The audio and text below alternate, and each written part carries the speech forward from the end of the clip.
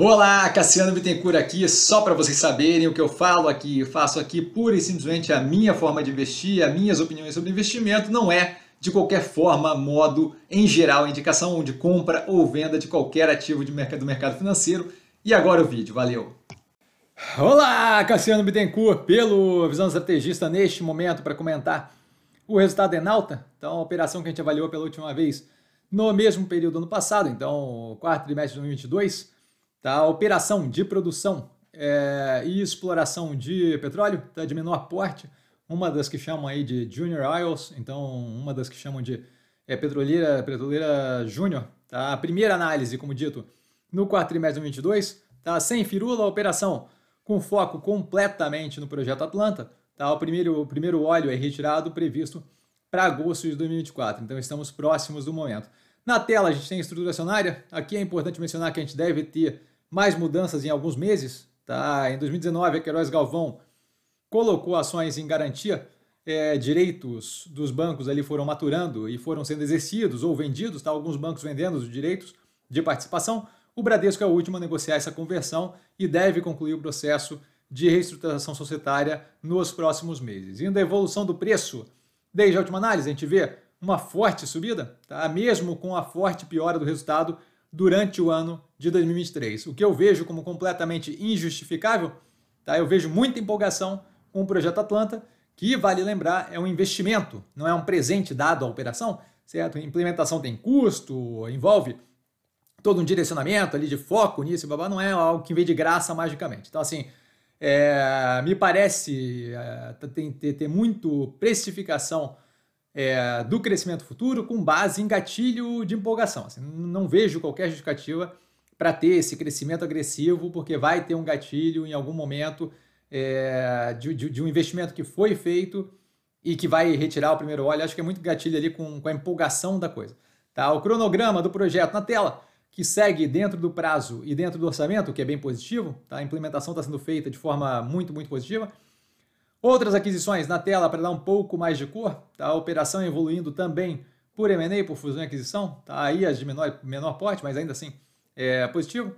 Tá? A atualização das reservas antes de entrar na operação financeira, na tela para o pause, apenas para dar um pouquinho mais de informação, tá? nada que definitivamente não é o foco ali que justifica aquele... Nada justifica aquele crescimento, mas assim, não é o foco que causa ali aquela evolução do preço agressiva. Indo ao due diligence, a gente vê a produção ainda volátil, certo? Sem, com, com, com oscilação mais agressiva entre os períodos. Nos trimestrais a gente consegue ver isso. Tá? Fator comentado na análise passada, em um setor onde a gente já conta com forte volatilidade vindo da commodity, certo?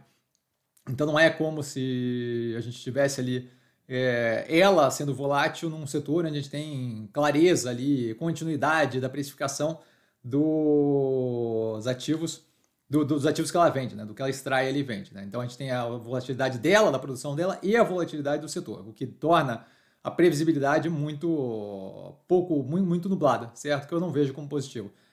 A operação financeira mostra uma piora agressiva do resultado entregue versus o ano 2022.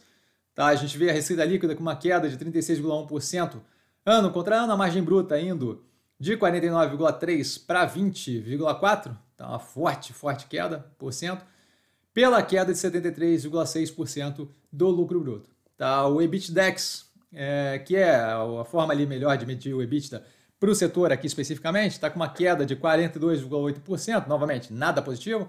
Tá? E a margem, um pouco mais resiliente ali, mas com queda de 66,1% versus 59,2% nesse trimestre.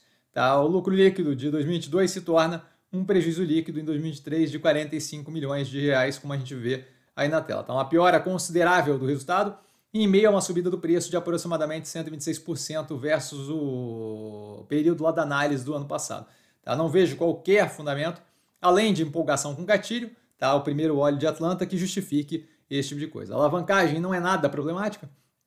A gente tem forte alongamento da dívida, tá? de modo que, considerando ou não considerando as disponibilidades ajustadas, se você quiser considerar só as disponibilidades é, normais ali, é, ainda assim a operação se encontra com estrutura de capital muito confortável. Vale lembrar aí, para quem ficar confuso, eu sublinhei ali tudo, a gente tem no lado direito em reais, do lado esquerdo em dólar. Tá? De modo que causa ali um pouco de confusão quando você olha a disponibilidade em 300 e poucos milhões é, de dólares, e aí quando você olha no número ali é 1,7 bi de reais. Então essa é é a grande diferença ali dos números, tá? Só para a galera não ficar confusa, por isso que eu sublinhei lá em cima é, a legenda ali de real e dólar.